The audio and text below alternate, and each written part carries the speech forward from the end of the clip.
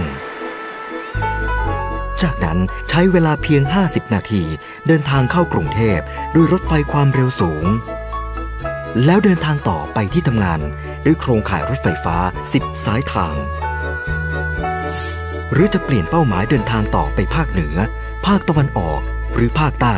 ก็สามารถทำได้ ด้วยโครงข่ายรถไฟความเร็วสูง ที่เชื่อมโยงถึงกันทุกภูมิภาค และแม้ต้องเดินทางไปประชุม หรือเที่ยวไกลถึงเวียงจันทร์ก็สามารถไปกลับได้ในวันเดียว รัฐบาลจะสร้างชีวิตดีๆอย่างนี้ให้กับประชาชน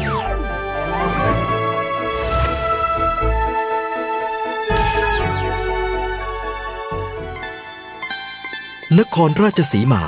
เมืองที่ได้รับฉายามหานครแห่งอีสาน เมืองเศรษฐกิจที่มากด้วยประชากร นับเป็นอันดับสองของประเทศ เป็นประตูที่เปิดสู่ภาคอีสาน อีกทั้งยังมีแหล่งท่องเที่ยวทางธรรมชาติที่สวยงามในบรรยากาศสวิตเซอร์แลนด์เมืองไทย พร้อมกิจกรรมผจญภัยอันหลากหลาย ดึงดูดให้นักท่องเที่ยวมาเยี่ยมเยือนดินแดนแห่งนี้ ที่สำคัญ นครราชสีมายังเป็นจุดเชื่อมต่อของระบบโครงข่ายรถไฟทางคู่ทั้งหมดในระยะแรกของภาคอีสาน โดยมีรถไฟทางคู่ช่วงชุมทางถนนจิระขอนแก่น เป็นรากฐานสำคัญในการเชื่อมต่อกับโครงข่ายสายทางคู่อื่น ๆ ทั้งสายทางบ้านไผ่มหาสารคาม ร้อยเอ็ด มุกดาหาร นครพนม สายชุมทางถนนจิระอุบลราชธานี สายทางขอนแก่น อุดรธานี หนองคาย ปิดประตูสู่สาธารณรัฐประชาธิปไตยประชาชนลาว และสาธารณรัฐประชาชนจีน ซึ่งในอนาคต รถไฟทางคู่จะให้บริการแบบรถไฟท้องถิ่น เพื่อรวบรวมและกระจายรับส่งผู้โดยสาร ระหว่างท้องถิ่นกับสถานีในเมืองใหญ่ ที่รถไฟความเร็วสูงจอดให้บริการ เพื่อเป็นการเชื่อมโยงเมืองคู่ขนานทางเศรษฐกิจที่สำคัญทั้งหมดในภาคอีสาน ดังนั้น นครราชสีมา จึงเป็นจุดยุทธศาสตร์สำคัญที่เราต้องเร่งพัฒนาสำหรับการพัฒนารถไฟความเร็วสูง สายกรุงเทพ นครราชสีมา หนองคาย จะเป็นส่วนสำคัญในการสร้างแหล่งงาน เพิ่มเม็ดเงินให้กับพี่น้องประชาชนชาวอีสาน ตั้งแต่การเพิ่มขึ้นของอัตราการจ้างงานในระยะก่อสร้าง จวบจนรถไฟความเร็วสูงเปิดให้บริการ จะยังผลให้มีปริมาณนักท่องเที่ยว นักเดินทางเพิ่มขึ้น ซึ่งจะสร้างโอกาสใหม่ให้กับธุรกิจบริการ การท่องเที่ยว โรงแรมที่พัก ของกินของฝาก โอท็อปขึ้นชื่อ รวมไปถึงการพัฒนาย่านอุตสาหกรรมใหม่ และเมืองใหม่ตามสายทางรถไฟ และเมื่อมองถึงภาพใหญ่จากแผนการลงทุนในโครงการ Thailand 2020 ก้าวใหม่เชื่อมไทยสู่โลก ซึ่งรัฐบาลได้มีแผนพัฒนาโครงสร้างพื้นฐาน ด้านคมนาคมของประเทศทั้งระบบ ทั้งการพัฒนาระบบราง และการปรับปรุงการขนส่งทางถนน ทางน้ำและด่านการค้าชายแดน โดยมีรถไฟความเร็วสูง เป็นแรงขับเคลื่อนสำคัญ ในการกระจายความเจริญจากกรุงเทพไปยังเมืองหลักในแต่ละภูมิภาค ซึ่งเป็นการส่งเสริมให้ประชาชนในทุกพื้นที่สามารถเข้าถึงแหล่งงาน แหล่งการศึกษา และบริการสาธารณสุขอย่างเท่าเทียม ลดปัญหาการกระจุกตัวในเมืองใหญ่ ลดความเหลื่อมล้ำทางสังคม และช่วยแก้ปัญหาความยากจนได้อย่างยั่งยืน กระทรวงคมนาคม โดยสำนักงานนโยบายและแผนการขนส่งและจราจร หรือสอนอขอร่วมกับการรถไฟแห่งประเทศไทย ได้ดำเนินการศึกษาความเหมาะสม และออกแบบกรอบรายละเอียด ควบคู่กับการเผยแพร่ข้อมูล และรับฟังความคิดเห็นของประชาชนในพื้นที่มาอย่างต่อเนื่อง จนนำมาสู่แนวทางการดำเนินงาน และออกแบบระบบรถไฟความเร็วสูง สายกรุงเทพนครราชสีมา ที่ก่อให้เกิดประโยชน์สูงสุด และมีผลกระทบน้อยที่สุดดังนี้ แนวเส้นทางและรูปแบบโครงสร้างทางวิ่งสนขกำหนดให้แนวเส้นทางรถไฟความเร็วสูง ยังคงใช้พื้นที่เขตทางรถไฟเดิมเป็นหลัก ยกเว้นบางช่วง ที่ต้องมีการปรับรัศมีความโค้ง ให้มีความเหมาะสมกับการเดินรถที่รองรับความเร็วสูง ซึ่งจะพิจารณาเลือกแนวเส้นทาง ที่มีการเวนคืนที่ดินเพิ่มเติมน้อยที่สุด โดยแนวเส้นทางจะเริ่มต้นที่สถานีบางซื่อผ่านสถานีดอนเมืองในกรุงเทพมหานคร ผ่านสถานีพระนครศรีอยุธยา ถึงจุมทางบ้านผาชีในจังหวัดอยุธยา โดยใช้โครงสร้างทางร่วมกับรถไฟความเร็วสูงสายเหนือ กรุงเทพเชียงใหม่ จากนั้นแนวเส้นทางจะวิ่งผ่านอำเภอหนองแสงอำเภอสาวไห้ มุ่งหน้าสู่สถานีสระบุรี ผ่านพื้นที่ประธานาบัตรเหมืองปูน บริเวณแก่งคอย ผ่านอำเภอมวกเหล็ก ก่อนจะเข้าสู่สถานีปากช่อง จากนั้นแนวเส้นทางจะเลียบอ่างเก็บน้ำเขื่อนลำตะคอง ผ่านอำเภอสีคิ้วอำเภอสูงเนิน ไปจนถึงสถานีนครราชสีมา รวมระยะทาง 252 กิโลเมตร และในอนาคตจะมีการพัฒนาส่วนต่อขยายไปยังหนองคาย โดยมีสถานีขอนแก่น สถานีอุดรธานี และสถานีหนองคายอยู่ในสายทาง ส่วนแนวเส้นทางช่วงแก่งคอย ฉะเชิงเสานั้น จะเริ่มต้นจากบริเวณอำเภอแก่งคอย ผ่านอุโมงค์พระพุทธฉาย และอำเภอวิหารแดงในจังหวัดสระบุรี เข้าสู่อำเภอบ้านนาอำเภอองครักษ์ในจังหวัดนครนายก ผ่านอำเภอบางน้ำเปรี้ยว ก่อนที่จะสิ้นสุดเส้นทางที่สถานีฉะเชิงเซาซึ่งจะเป็นเส้นทางที่มาเชื่อมต่อกับโครงการ Airport Link ส่วนต่อขยายจากกรุงเทพ สุวรรณภูมิ ฉะเชิงเซาชนบุรี พัทยา และระยอง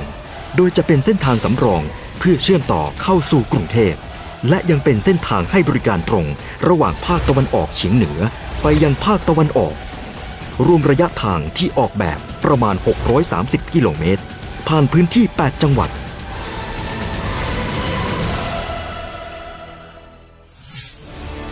สำหรับโครงสร้างทางวิ่งของรถไฟความเร็วสูง ได้มีการออกแบบไว้ 4 รูปแบบดังนี้ 1. ทางวิ่งระดับพื้นดินในช่วงที่เป็นพื้นที่ราบ มีจุดตัดทางรถไฟกับทางหลวง หรือถนนท้องถิ่นน้อย และอยู่นอกเขตชุมชน 2. ออกแบบเป็นทางวิ่งยกระดับในกรณีที่มีจุดตัด กับถนนหลายแห่ง หรือผ่านชุมชนขนาดใหญ่ ทั้งนี้เพื่อหลีกเลี่ยงการเวนคืนที่ดิน และช่วยให้ประชาชนในพื้นที่ยังสามารถเดินทางไปมาหาสู่กันได้สะดวกดังเดิม 3. ออกแบบเป็นอุโมงค์คู่รางเดียว ในบริเวณที่เป็นภูเขาสูงชัน ซึ่งมีข้อดีในด้านการบริหารจัดการความปลอดภัยได้เป็นอย่างดี โดยได้ออกแบบไว้ที่แก่งคอยลำตะคอง และอุทยานแห่งชาติน้ำตกสามหลัน 4. ออกแบบเป็นสะพานบก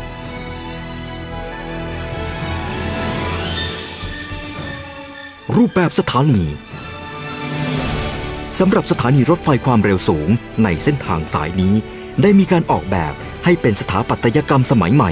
ที่มีกลิ่นอายของศิลปะ และอัตลักษณ์ประจำท้องถิ่นแฝงอยู่ จนผู้มาใช้บริการสามารถสัมผัสและจดจำได้ และสนขยังได้กำหนดให้พื้นที่ใช้สอยภายในสถานี เน้นความสะดวกสบาย เพื่อตอบสนองผู้มาใช้บริการเป็นหลัก โดยได้จัดให้มีสิ่งอำนวยความสะดวกสำหรับคนชรา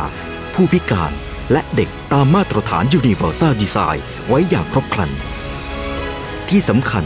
สถานีรถไฟความเร็วสูงยังเปิดโอกาสให้เกิดมูลค่าทางเศรษฐกิจ จากการมีร้านค้าโอท็อปและวิสาหกิจชุมชน ส่งผลให้ในอนาคต สถานีรถไฟความเร็วสูง จะเป็นศูนย์กลางของเมืองในการส่งเสริมการค้า พาณิชยกรรม และอุตสาหกรรมท้องถิ่นอย่างเต็มรูปแบบ ความปลอดภัยและการแก้ไขปัญหาจุดตัดทางรถไฟสนขได้กำหนดให้การออกแบบทางรถไฟ มีรั้วกั้นสองข้างทาง เพื่อป้องกันไม่ให้คน สัตว์ และยานพาหนะเข้าถึงภายในแนวเส้นทางเดินรถ พร้อมแก้ไขปัญหาจุดตัดทางรถไฟทั้งหมด 393 จุด ให้สอดคล้องกับความต้องการของชุมชน และเหมาะสมกับรูปแบบการเดินทางเดิมในท้องถิ่น โดยมีรูปแบบดังนี้ 1. การทำถนนยกระดับข้ามทางรถไฟ ในจุดที่มีการจราจรค่อนข้างสูง 2. การทำถนนยกระดับข้ามทางรถไฟรูปตัวอยู่ในกรณีที่มีจุดตัดหลายแห่งอยู่ใกล้ ๆกัน 3. การทำถนนลอดใต้ทางรถไฟ ในกรณีที่ไม่สามารถก่อสร้างถนนข้ามทางรถไฟได้ 4. การทำถนนลอดใต้ทางรถไฟรูปตัวอยู่โดยมีถนนเลียบทางรถไฟพร้อมให้บริการ 5. การทำท่อเหลี่ยมลอดใต้ทางรถไฟสำหรับการสัญจรของเกษตรกรในพื้นที่ และยังมีประโยชน์ในการช่วยระบายน้ำในฤดูน้ำหลากได้เป็นอย่างดี 6. การยกระดับทางรถไฟข้ามถนนในย่านชุมชนที่มีจุดตัดทางรถไฟกับถนนหลายแห่งอยู่ใกล้ ๆ กัน การใช้พลังงานของรถไฟความเร็วสูง รถไฟความเร็วสูงไม่ได้ใช้พลังงานมาก จนทำให้กำลังผลิตไฟฟ้าของประเทศ มีปัญหาอย่างที่หลายคนเข้าใจ จากการคำนวณระยะทางวิ่ง ระหว่างกรุงเทพถึงหนองคาย จะใช้พลังงานไฟฟ้าต่อปี เทียบเท่ากับห้างสรรพสินค้าขนาดใหญ่เพียงหนึ่งห้างเท่านั้น และเมื่อเทียบกับระบบขนส่งแบบอื่น ๆ รถไฟความเร็วสูงยังสามารถขนส่งผู้โดยสารได้มากกว่า ต่อการใช้พลังงานเท่า ๆกัน เหนือสิ่งอื่นใด สนขอใส่ใจ และตระหนักถึงผลกระทบทางสิ่งแวดล้อมที่อาจเกิดขึ้นจากการพัฒนาโครงการ จึงได้กำหนดเป็นมาตรการป้องกัน และลดผลกระทบอย่างรอบด้านดังนี้ ด้านคุณภาพอากาศ เสียงและความสั่นสะเทือน กำหนดให้ติดตั้งกำแพงกั้นเสียง และปลูกต้นไม้ รวมทั้งควบคุมความเร็วในการเดินรถ โดยเฉพาะช่วงที่ผ่านกลางเมืองหรือชุมชนหนาแน่น ด้านการแบ่งแยกชุมชน ได้จัดให้มีทางเชื่อม ทางลอด และสะพานกลับรถในระยะที่เหมาะสม ด้านการคมนาคมขนส่งในระยะก่อสร้างกำหนดให้ติดตั้งป้ายประชาสัมพันธ์ แผงกั้นและไฟกระพริบในบริเวณพื้นที่ก่อสร้าง ด้านการเวรคืนและชดเชยทรัพย์สิน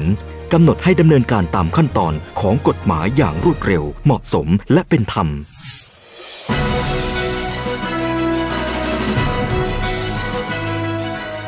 การพัฒนารถไฟความเร็วสูง คือความตั้งใจจริงจากรัฐบาล ที่มุ่งกระจายความเจริญ และพัฒนาคุณภาพชีวิตที่ดี สู่ประชาชนในท้องถิ่น โดยในอีก 5 ปีข้างหน้า รถไฟความเร็วสูง สายกรุงเทพ นครราชสีมา จะเปิดมิติใหม่ของการเดินทาง พร้อมผลักดันศักยภาพของประเทศไทย ให้ก้าวสู่การเป็นศูนย์กลางประชาคมเศรษฐกิจอาเซียน อย่างเต็มภาคภูมิ